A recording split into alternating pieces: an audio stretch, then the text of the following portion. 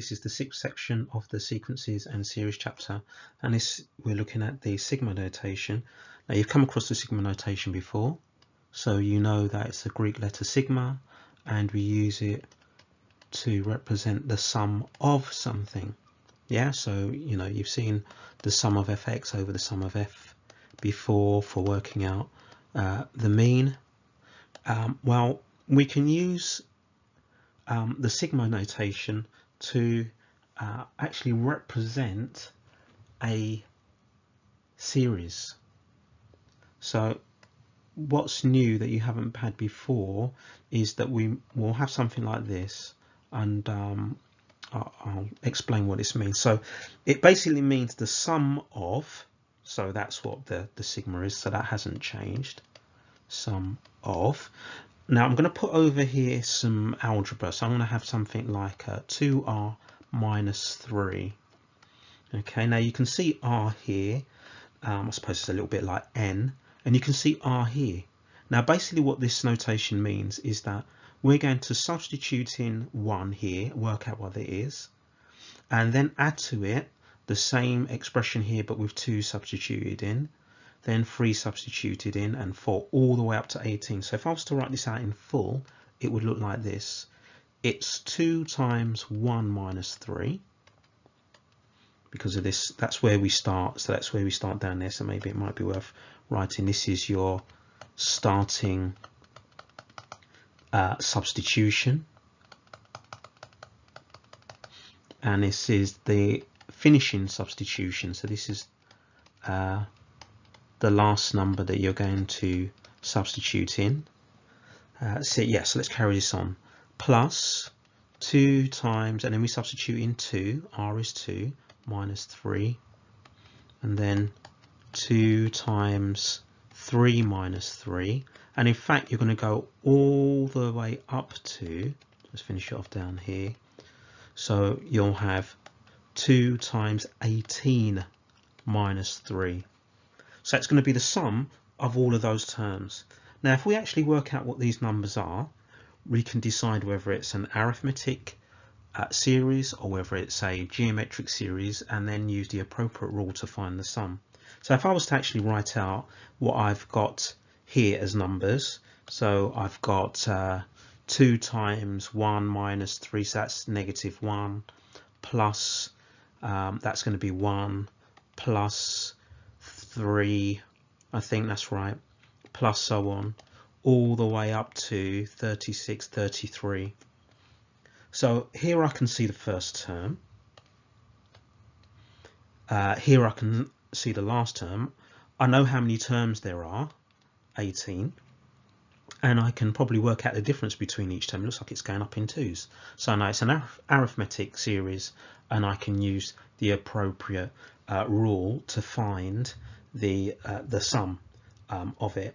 Now, what you'll tend to find in general, if you find that you've got the sum of, and it can be R, it can be K, it can be N, so let's put N equals, let's say, I don't know, up to 50, and I've got something of the form um, A, N plus B. What you'll tend to find is that this will be an arithmetic sequence that that produces. So you'll be finding the sum of, of an arithmetic series, yeah, where your letter appears here. If, however, we have something like this, again using n, if I have something like um, a to the power n plus b, something like that, you'll probably find in general that this is a geometric series. Yeah, so see how the letter that we substitute, either here's a multiple, here it's a power. So that gives you some idea. Now what I would normally do is I'd write out maybe the first two or three terms, decide whether it's arithmetic or geometric, and then use that to help me decide uh, which uh, formulae I'm going to use to find the sum of them. So here already it looks like it's going to be arithmetic, but I'm going to write out the first uh, few terms. So basically they're going to be 20 terms that I'm going to be adding together, starting from the first term where I substitute one in, and then the last term when I substitute 20 in. So already I can write down that n equals 20. So the other things I'm going to need is a, the first term, now I need to decide whether it's arithmetic or geometric before I actually decide well whether it's going to be D I write down or R. But actually looking at it, I get the feeling that this is going to be arithmetic. But let's check, let's just double check. So the first term, which we'd write as U1, so that's going to be 4 times 1 plus 1, so the first term is 5. U2 would be 4 times 2 plus 1, so that's going to be 9, u3. So already I can I can see, sorry, 4 times 3 plus 1, uh, which is going to be 13. Right, so my first term is 5, and I can see that I'm adding to find the next term, and we're adding 4. So D is 4. So I know it's an arithmetic series and I want to find the sum of that arithmetic series which means I need to use uh, this. So n over 2 uh, 2a plus n minus 1d so I'm finding the sum of 20 terms. n is 20 20 over 2 a is 5 so 2 times 5 plus n minus 1 so n is 20, so 20 minus 1 times by the common difference 4. So all I need to do is to work that out and I get my answer. So uh, some of this I can do in my head I think. So 20 divided by 2 is 10 times by 2 times 5 which is going to be 10 and then I'm adding to that 19 times 4 and I get 860 so different notation, but once we know what that notation actually represents, we can use something we've used before. So the sum of those 20 terms is 820, uh, sorry, 860. Looking at these two, I can see that the letter that I'm substituting is the power. So I've got an inkling that these are going to be um, geometric series, but to check, I am going to work out the first few terms. So u1, the first three, normally the first three is enough. Is going to be 5 times 3 to the power of 1 minus 1, so that's 3 to the power 0, which is 5 times 1, which is 5. u2 is going to be 5 times 3 to the power uh, 2 minus 1, so that's 5 times uh, 3, basically a 3 to the power 1, which is 15. u3 is going to be 5 times 3 to the power 3 minus 1 which is 3 squared. So 4 times um, so 5 times 9 which is going to be 45 now that should be enough for me to see exactly what's going on. So straight away first term is a uh, which is 5 the number of terms is 12 and if I have a look to see what we're doing it's not adding because I'm not adding 10 I can see that I'm multiplying by 3 so here I have r equals 3. So if I want to find the sum of these 12 terms, that's going to equal a r to the n minus 1 over r minus 1. All we need to do is substitute numbers in, so that's 5 times uh, 3 to the power 12 minus 1 over uh, 3 minus 1. We'll work that out on our calculators and see what we get. So I'm just going to type that in. So 5 bracket 3 to the power 12 minus 1 down to the bottom, 3 minus 1 which is 2, and I get, that looks like a hundred and oh, 1 million 328,600 for that. So I'll just write that down. 1, 3, 2, 8. 1, 3, 2, 8. Sorry, that doesn't look like a 1. 1, 3, 2, 8, 600.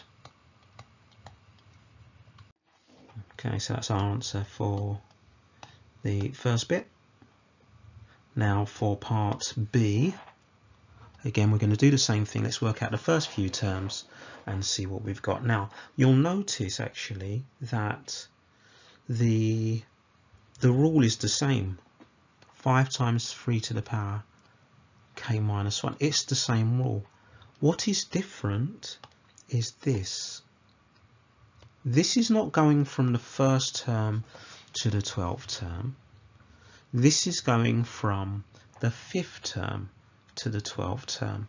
Now we could pretend that uh, U5 is the first term and U6 is the second term and do it that way.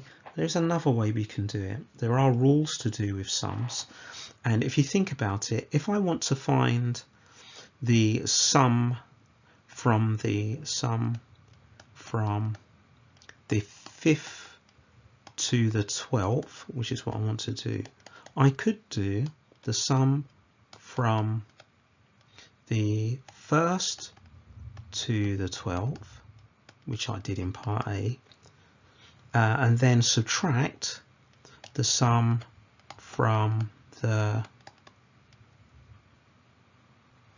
first to the fifth, to the, not to the fifth, but to the fourth. Yeah, so let's try and do it in a, a diagram. Let's say this bar represents the sum of the first number to the 12th number. And this bar here represents the sum from the first number to the fourth number. Well then what's left? Well what's left over here, this is going to be the sum from the fifth number to the 12th number. So this is the approach that we take, that we'll find the sum from the first term up to a certain numbered term and then we can subtract that off. So the first thing we would write down is this, that the sum from the fifth term to the 12th term is equal to the sum from the first term to the 12th term minus the sum from the first term to the fourth term. So be careful, it's not to the fifth term. We want the fifth term. We want to take away the first four so that we've got what's left. Now, we've already worked out half of this. So we've already worked out the sum uh, from the uh, first term to the 12th term. We did that here. Yeah, so now we just want to work out the sum from the first term to the fourth term. Now, that's pretty much what we did in part A, the only difference being uh, the first term is still 5, uh, the common ratio is still 3, but n now is not 12, n is just 4. So we plug that into the, the formula to find the sum of these four terms. So that's going to be the first term A, whoops, first term 5, times by um, r to the power n, which now is 4, minus 1, over r minus 1, so 3 minus 1. So let's see what we get for that. Hopefully there's enough space to write it down. So um, 5 bracket 3 to the power 4 minus 1 over 3 minus 1, which is 2. Oh, that's nice. It's just 200, so I've got plenty of space. So um, the sum from the fifth term to the 12th term is this 1, 3, 2, 8, 600, which is the sum of the first to the 12th. Take away 200, which is the sum from the first to the fourth. So we take this approach. So I can probably do that in my head, I think. 1, 3, 2, 8, 400 is my final answer. So let's just highlight that there. Right, you should now be able to do exercise 3F, which is on pages 77 to 78 of the textbook.